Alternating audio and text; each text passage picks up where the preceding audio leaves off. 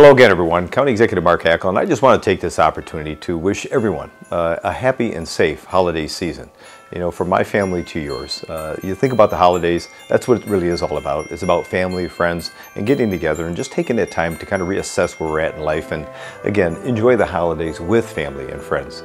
You know, I think right now when we move forward with this new year, uh, my one wish is for everybody to be kind to one another.